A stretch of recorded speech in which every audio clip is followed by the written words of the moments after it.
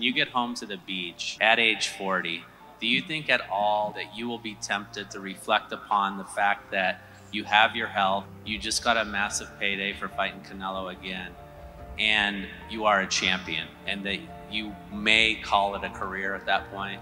Will that run through your mind at all? Однозначно да, потому что я скажу так, наверное, во мне вот эта вот страсть к боксу еще пока не остыла. В данный момент у меня три пояса в 160, мне надо решать свои вопросы. Ну, я думаю, даже скажу, может быть, немножко громко, я неплохо себя чувствовал, и если вы видели, как бы я, в принципе, даже не, и не пропускал, и не устал, то есть я показал, что есть силы, чему я очень рад. Где бы я бы ни находился, я, конечно, буду думать о том, как вернуться с каким настроем.